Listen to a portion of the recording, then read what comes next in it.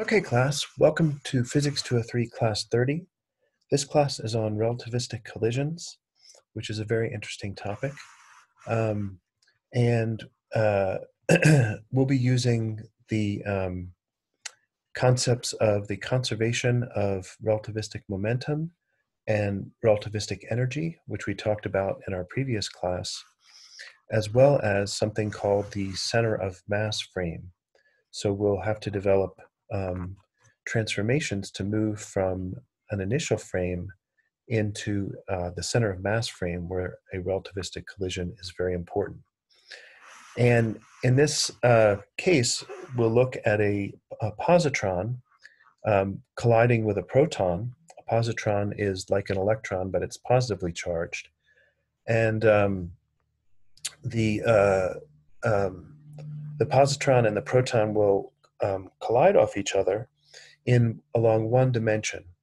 Um, so it's just along a straight line. In real collisions, they can collide along several dimensions, um, three dimensions. But um, this this will definitely get across the basic ideas.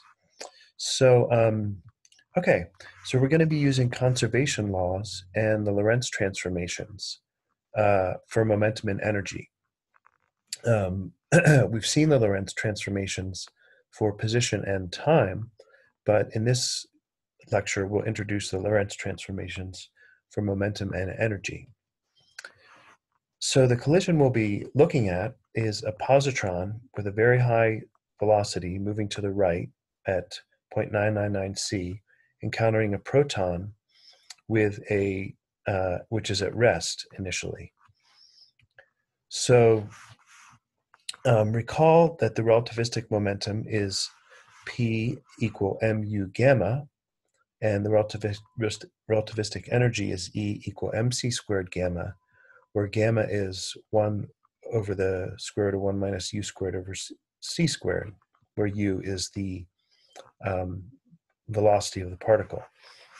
So um, in any interaction, these are the conservation laws, such as a collision between this positron and this proton. The total relativistic momentum and the total relativistic energy are conserved. So we have, um, we can write that as P total initial is equal to P total final, and E total initial is equal to E total final, uh, where initial and final are before and after the collision. So we can make use of these conservation laws to find the particle velocities after the collision. But um, as I as I hinted at a minute ago, we need to be able to change reference frames to something called the center of mass frame. And I'll we'll define that in, in a second. But to change reference frames, we need in relativity the Lorentz transformations, and we need to know how they apply to momentum and energy it turns out they have a similar form as the ones for position and time. Um, with v as the velocity of the primed frame, the new frame relative to the original unprimed frame, these were the Lorentz transformations for the position and time. Um, the new x, x prime was the gamma factor times x minus vt, and the new time was the gamma factor times t minus vx over c squared. So um, the you, these are the um, corresponding or or analogous transformations for energy and momentum. Um, you can notice that the energy transformation has a form very similar to the transformation for position, while the momentum transformation has a form very similar to one for time. So here E prime is gamma times E minus VP, just like x prime is gamma times x minus vt, vt. And you can see the similarity between these as well. Okay? So these are how the energy and momentum change between as we move from one reference frame to another. Um, so let's talk about the center of mass frame and um, why it might be useful. Um, so we have this positron moving to the right with this high velocity, um, the overall momentum of the two particles is going to be to the right because the proton is at rest and the positron has a rightward momentum. But we can imagine being in a frame which is moving to the right with some velocity, and that's going to slow down the positron in that frame. It'll appear to be going slower. Meanwhile, since the frame is moving to the right, the proton in that frame will be moving to the left. So in that frame, the positron will be moving to the right, the proton will be moving to the left, and if we pick the velocity of this moving frame right correctly, we can get the um, we can get the total momentum uh, of the uh, frame equal to zero, and that's called the center of mass frame, where the sum of the momentum of all the particles involved is equal to zero. So in the center of mass frame, the initial momentum of the particles, one and two, are equal and opposite. Um, so the total momentum in the center of mass frame, as I said, will be zero. So we can write that in equations as uh, P total, um, P prime, meaning the prime frame, the center of mass frame, initial is equal to P1 for positron and P2 for proton initial is equal to zero. And then by conservation, we know that in any reference frame, the relativistic total relativistic momentum is conserved. So that would be equal to um, p total final, which would be p1 final plus p2 final in the again in the center of mass frame. So the fact that these are are zero um, means that these momenta just uh, we can say that p1 prime p1 plus p2 initial is equal to p1 plus p2 final. So there are two ways that this can happen that are consistent with um, total energy conservation. One is just if the first particle keeps its momentum. So if P1 final is P1 initial, P1 final is P1 initial, and the second particle keeps its uh, momentum. P2 final will be equal to P2 initial. In this case, the particles don't actually collide um, because they keep their momenta, they just fly by each other, okay? Which can happen, um, but that's not, we want to actually see them hit each other and exchange some momentum. So the other way, the, the other solution, which is, ex, which is consistent with the um, conservation of energy is for the particles to exchange momentum, momenta in the center of mass frame. So in this case, the final momentum of particle one would be equal to the initial momentum of particle two, and the final momentum of particle two would be equal to the initial momentum of particle one. So in this case, with the positron in the center of mass frame moving to the right initially and the proton moving to the left, after the collision, that would reverse and the positron would be moving to the left, back to the left, and the proton moving back to the right in the center of mass frame.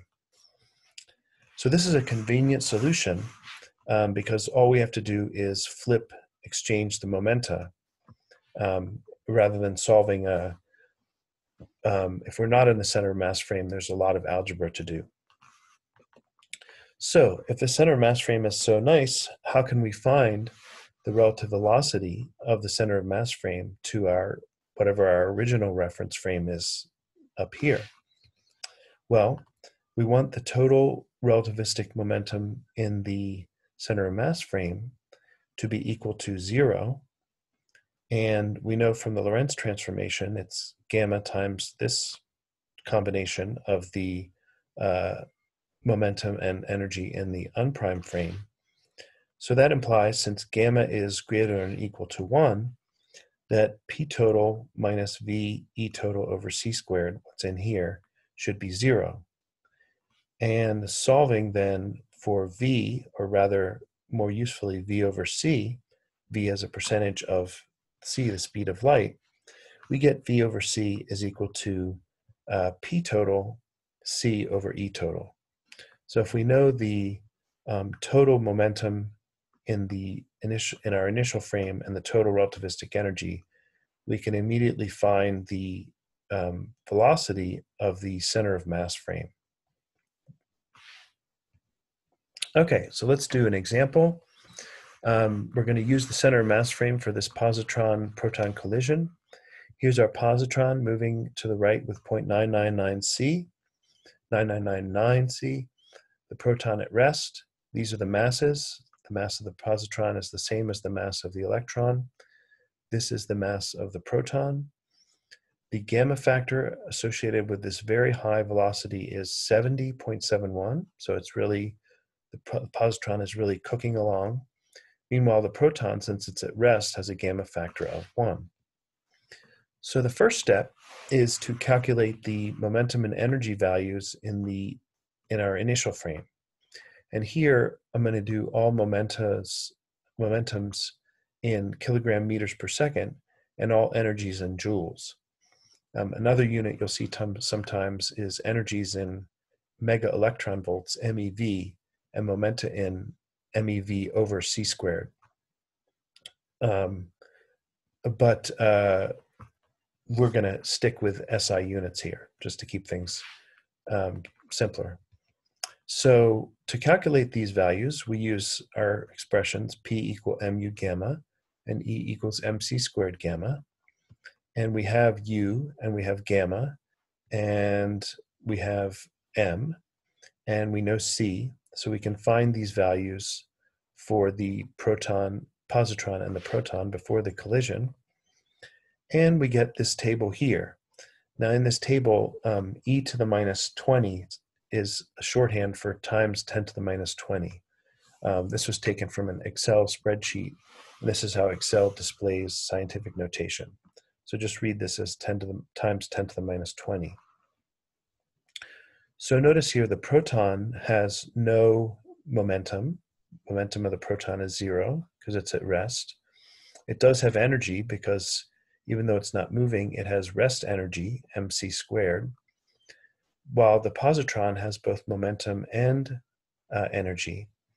And then we can total up um, the total momentum of the proton and the positron and the total energy of the proton and the positron. And we get these values here, again in joules and kilogram meters per second. All right, so the second step is to identify the center of mass frame for the collision. And we expect that its velocity should be to the right, as we talked about before. So um, in fact, that's the case if we take our expression, which we derived on the last page, uh, for the center of mass velocity, v over c, it's p tot c over e tote. So we take this value here times c and divide by this value here, and we get 0.03709. So the center of mass frame moves with a velocity of about just under 4% of the speed of light to the right. Okay, so, and the gamma factor associated with that is uh, just over one because it's a very fairly small velocity, 1.0001. Next step is to actually transform these uh, momentum and energy values in the initial frame to the center of mass frame um, before the collision. So for that, we use our um, Lorentz transformations which we talked about before. And if we do that, if we apply that with uh, v, v here equal to our center of mass velocity, and p and e coming from this chart up here in the initial frame, we get these values here in the uh, prime frame. That's where these primes are here before the collision. Notice that the proton has a negative momentum in the center of mass frame, as we suspected, while the positron has a positive momentum, um, also as we suspected before. And notice when we add the two, um, we do get zero, which is what we were hoping for in the center of mass frame. Okay? So then the fourth step is once we're in the center of mass frame, we just exchange the momentum in the center of mass frame to move after the collision. So P um, uh, p of the proton afterwards will be equal to p of the positron before and vice versa. So all we've done is switch p of the positron, uh, p of the pro proton, and p of the positron here. So we get this uh, uh, table here for the for the values of the momentum and the energy after the collision. Um, okay, so now we're almost there. Here's our uh, collision again, just for reference. Now, once we've got those values for the um, momenta and energies of the particles um, in the center of mass frame, we want to go back to our initial frame because we want to know what the uh, momenta and energy are in our initial frame.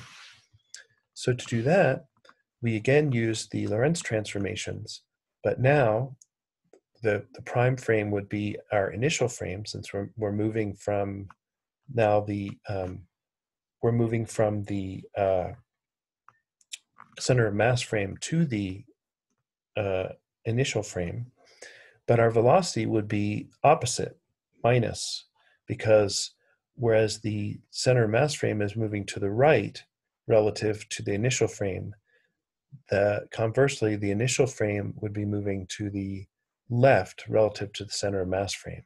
So it would just be minus the value that we had before on the last slide for our for our uh, velocity. So applying this to the um, values we had in the previous table, we get the following. Um, for our uh, momentum of the proton and the energy of the proton, uh, the momentum of the positron and the energy of the positron, and the total momentum and the total energy. And we would hope that since we're back, since we're after after the collision, that the total momentum after and the total energy after would be the same. If we look back at the previous slide, we have 1.931 times 10 to the minus 20 and 1.561 times 10 to the minus 10. And we find that we get those values. So finally, we can calculate the velocities after the collision in the initial frame. We, um, there's a nice shortcut to doing this. Um, if we look at the values here, we have P equal mu gamma and E equals mc squared gamma. If we take P times C, we get mu c gamma over mc squared gamma. And m's cancel and the gammas cancel, and we just get 1c cancels and we just get u over c. So pc over e gives us u over c. And if we apply that to our p's and our p and e values here for the um, back in the initial frame, we get the proton moving with a velocity 0.074, so moving to the right, which makes sense since it's being hit by the positron, and the positron moving to the left with a velocity of minus 0.999, so it's really zips back to the left. So this is what it looks like after the collision. We have the proton moving to the right and the positron moving to the left. Um, and so it's almost like a little ping pong ball hit a bowling ball and made the bowling ball moving just move just a little to the right and bat this one back to the left. So I hope you've enjoyed this tour of relativistic collisions. We'll explore it a little more with a problem in class. And thank you for your attention, and I will see you in class.